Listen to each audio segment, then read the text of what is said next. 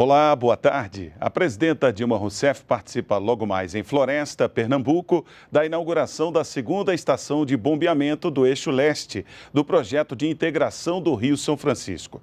A estação é responsável por impulsionar a água de um terreno mais baixo para outro mais alto.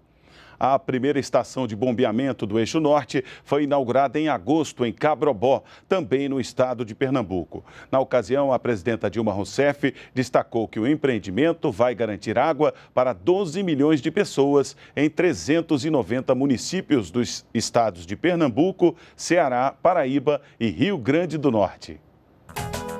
O velho Chico nasce na Serra da Canastra, em Minas Gerais, percorre 2.700 quilômetros e tem sua foz na divisa entre os estados de Sergipe e Alagoas.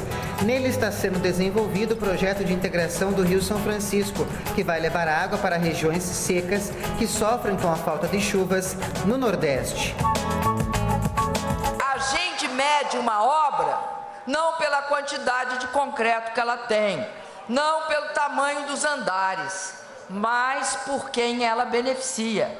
E ela beneficia 12 milhões de brasileiros e brasileiras diretamente em 390 municípios do Nordeste.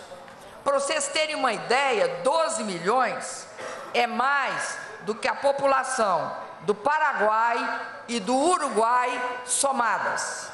O projeto é dividido em dois eixos: o eixo norte, que tem 260 quilômetros, e o eixo leste, com 217 quilômetros, totalizando 477 quilômetros.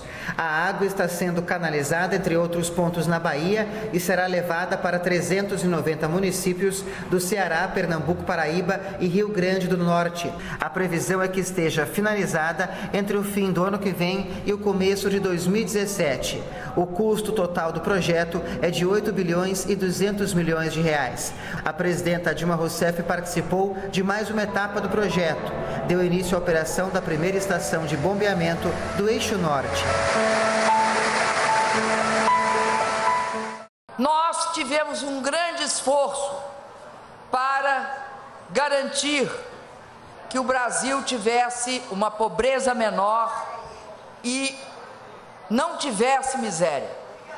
Nós também nos esforçamos para desenvolver o Nordeste e o Norte do país, que eram tradicionalmente as regiões que não eram olhadas, para as quais não se destinava, não se destinava recursos. Esse projeto faz parte dessa visão de reequilibrar o país. Nesses canais aqui, nós sabemos que junto com a água, ela também vai fluir a esperança que nós temos de ter no nosso país. Tem de fluir também a certeza que nós temos que esse país vai ser um país cada vez mais próspero. Temos dificuldade? Temos sim. Ninguém tem de tampar o sol com a peneira. Mas não é a forma de achar que está tudo ruim não é a forma pela qual a gente constrói canal. A gente constrói canal encarando a dificuldade de frente e ultrapassando a dificuldade.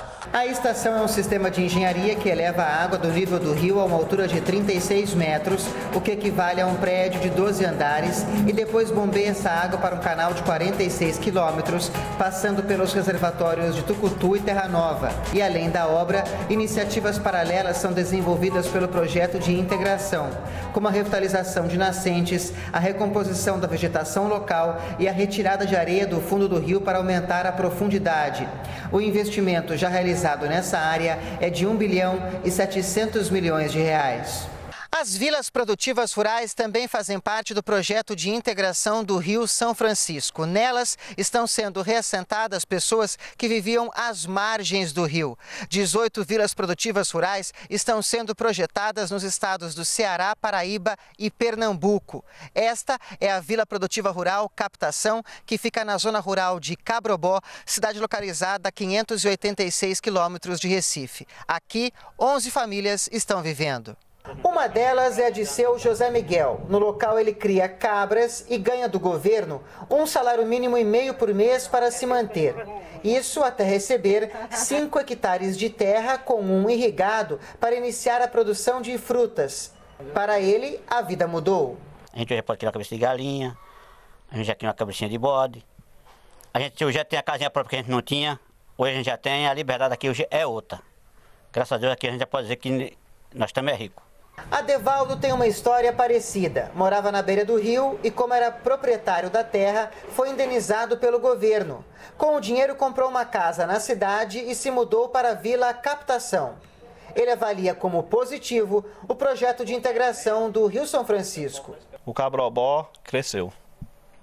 Cresceu bastante, foi o desenvolveu. Para as pessoas que vão receber essa água? Rapaz, eu acho que eles não estão dominando, eles estão sonhando se essa água chegar lá. Como ela vai chegar lá, para eles vai ser bom demais. Acho que é a coisa melhor do mundo. Esse povo das Caatingas, acho que vai ser uma glória para eles. Acho que eles têm muitos acreditados que não acreditam que essa água vai para lá, mas que eles podem botar fé que vai. Eles vão receber água e vão agradecer muito a Deus.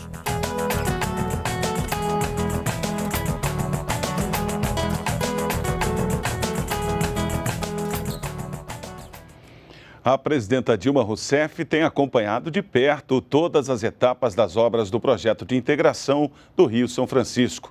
Antes de integrar, entregar a primeira estação de bombeamento em Cabrobó, ela visitou o projeto que, além de beneficiar milhões de pessoas com segurança hídrica, gera empregos na região.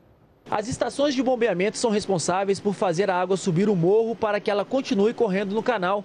Elas funcionam da mesma forma que as bombas usadas em edifícios para fazer a água subir para as caixas d'água. A presidenta Dilma Rousseff visitou a casa de bombas e viu de perto como vai ser o funcionamento da estação. Cada uma delas pesa cerca de 100 toneladas, o que equivale a 100 carros populares. As águas que vão passar pelos canais de integração do Rio São Francisco não vão beneficiar apenas os grandes centros urbanos do Nordeste. Vão também abastecer centenas de pequenas e médias comunidades que vivem no semiárido nordestino. Ao todo, mais de 12 milhões de pessoas vão ser beneficiadas. Pessoas como o operário Luiz Carlos da Silva. Ele não só vê o desenvolvimento chegando na cidade dele, Cabrobó, a 170 quilômetros de Petrolina, como faz parte da construção do canal de transposição do São Francisco, que passa bem perto da cidade. Foi muito importante porque gerou muito emprego, tirou muitas pessoas da rua que estavam sem trabalho. Foi bom, né? E daqui a pouco a gente vai conferir outras ações do governo federal para amenizar os efeitos da seca, principalmente na região nordeste do país. Continue com a gente. NBR, a TV do governo federal.